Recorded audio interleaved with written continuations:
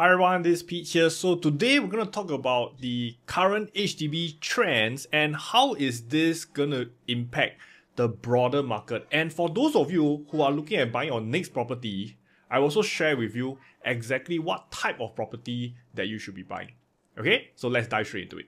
Okay, so the last month I was quite busy. I was at ICT and then I bring my children for a holiday. Right, right now I'm back, and whenever I'm back for a small timeline, right, a small period of time, uh, I realized there will be new news about HDB million dollar flats. Okay, so what we saw was uh, in late August, we had another 1.2 million five room flat, okay, in the Boon area. And then we have the HDB executive apartment at Bendemeer, right, we're going for 1.3, okay, and in fact, uh, this month itself, right, uh, August, uh, already saw 104 units sold. Okay? 104 units sold. And they say actually this is a decrease, you know, from the July 120. So though a bit less. Uh, but the thing is this, if you look at the statistics, you look at the amount of HDB that's being sold, right? Yes, we did see a drop in August, but the overall trend is undeniably going up. Okay, so now we are seeing about a hundred million dollar HDB per month, and guess what this was supposed to be a down month you know guys. August is actually the hungry ghost festival. This was supposed to be a down month and we are seeing 100 units still. Okay so if every month 100 units are guys we're going to be on track right? For more than a thousands of such units or the million dollar hdb i call it mhdb uh, okay? More than a thousands per year right? So august yes we did see the price increase dropping, right? Uh, not that it went down, but it slowed down to 0.5% increase and overall transaction volume uh, dropping. But if you look at the overall resale volume, I would say that it is still well within expectations, right? It is about the same as what we would expect uh, last year in August 2023. So there isn't a lot of dampening, although the news is trying to drum out that, oh, you know, HDB prices, the growth is slowing down. This is the Hungry Ghost Festival. I do expect the September timeline to increase from here. Okay, so at the same time, there was also a recent cooling measure, but I would say this is like a little cool cooling measure, not not a big cooling measure, not an ice age type of cooling measure. Okay, because uh, of this new rule called the 75% LTV. Okay, so for those of you who don't know, what happens is that last time for HDB loan, you can take up to 80% However, right now you can only take up to 75%. So that means that uh, buyers can uh, only take 75% and they have to fork out another 5% in cash in order to make the down payment. So the overall idea is that we don't want people to be over leveraged and hopefully by lowering the loan percentage, we can also moderate the prices. But would it be enough to lower the prices? And I would say the answer is no, right? Just no. Why? Because let me just give you a few factors. Uh.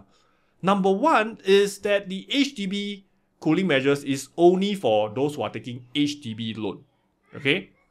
Which it already has a salary cap of $14,000. So that means you are not really dropping the buying power of those who are very rich, you know, buying all the million dollar HDB. You are just dropping the buying power of those who barely or just nice qualify for HDB loan. Okay? And at the same time, they also have increased grant. You know, there's an increased uh, EHG grant. So that will likely push prices higher because you are just throwing more money to the fire, right?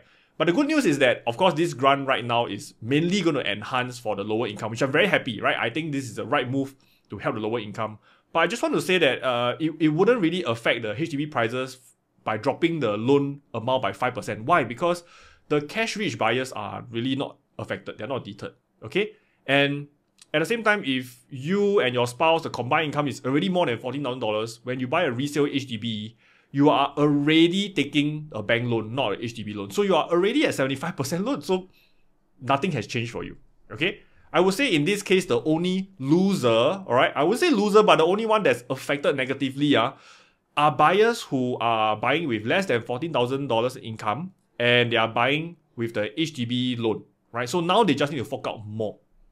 And from a analyst perspective, I'm not sure if this is the group that's really pushing the prices higher, right? So do we really want to lower their purchasing power by implementing the 75% loan?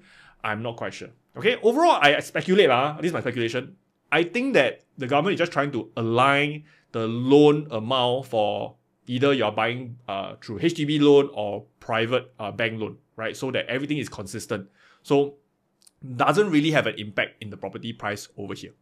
With all these news coming up, we are seeing a lot of million dollar HDB and also slightly lower loan for those of you who are taking HDB loan, right? What would I do in this case if I'm in the situation of buying an HDB flat?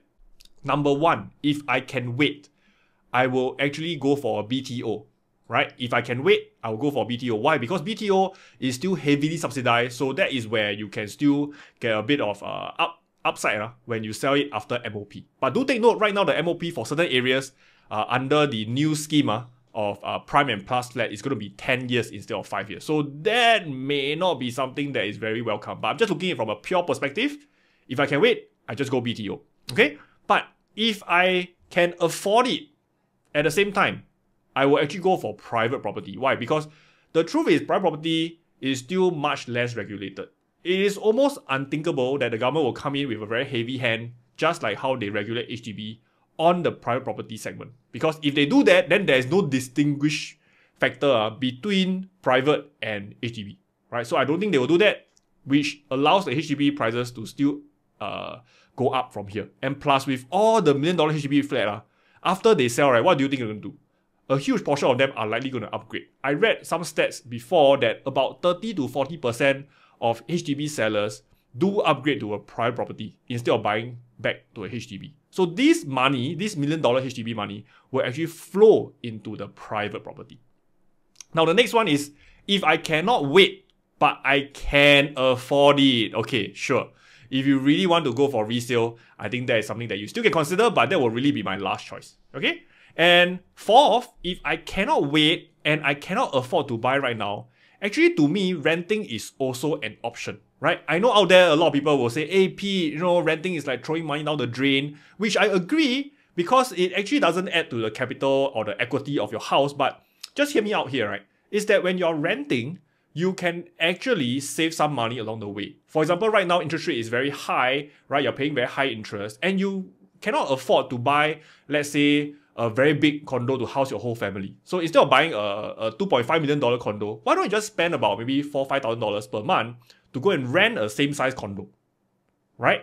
So that you can actually slowly build up your capital to buy that house in the future, right? So there are a lot of things you can do, and that's what I do with my clients on a one-on-one basis, right? To share with them what are the plans that they can think about. Because a lot of times when people are looking at property, they are looking from a very direct angle they are not able to analyze and look at it and say, hey, what are the alternative I can do? So one way I would think about is that, hey, can you rent a place first? Or in fact, if you don't need to rent a condo, can you rent an HDB first? Maybe it's cheaper, right?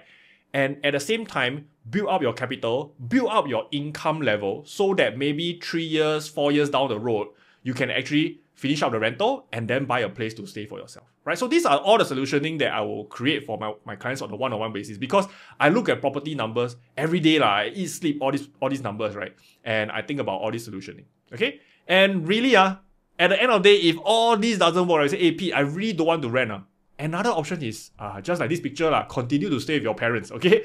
Uh, whether they will be happy or not too happy i'm not sure okay? But at the end of the day, if you can stay at a place without paying rental while you build up your capital to buy a place, that is also a possible solution.